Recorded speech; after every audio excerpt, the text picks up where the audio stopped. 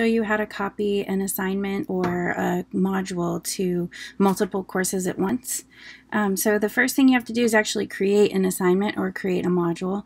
Um, this is the assignment I'm going to use right now. If you click on these three dots here, there is an option to share to the commons.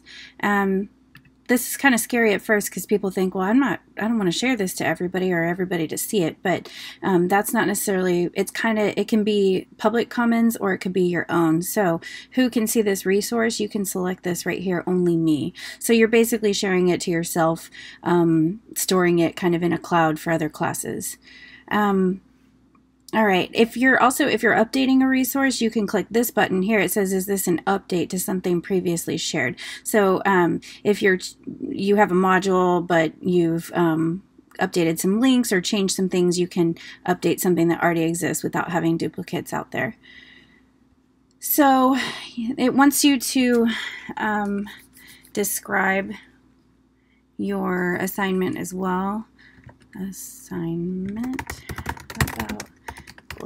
glazing. You can also tag it, but this is, since I'm, I'm just using this for myself, none of this really matters. It does require you to choose an image, so I'll just click this one um, that looks fancy and you can also adjust the grade level if you are sharing it to uh, the commons to help other people so I will click share and it's going to take a few minutes for it to upload um, right now it says preview not available it is processing uh, your assignment. So you have to wait until you see your actual preview in there. Once it's there and it's uploaded, you can just click on this button here and you can select any classes that you want uh, to have that assignment. And then click import into course. And it says I've successfully started, but it may take a while to see it inside the course, depending on how big the file is. So I'm going to go over to my Art 2 course.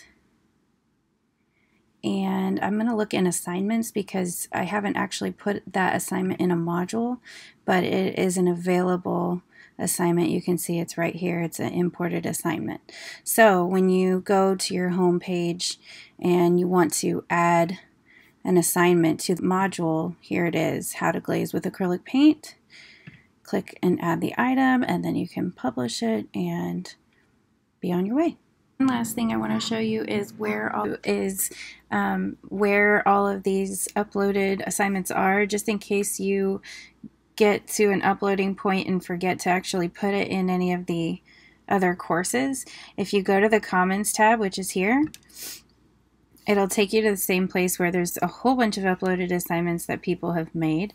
Um, but you would look through your shared, and even though you only shared it with yourself, it's um, they should end up in this section because this is something you shared to the commons. So any assignments um, that you've put in here will be here, and that's where you can find them, go to them, and then again import into whatever course you want. I hope that helps.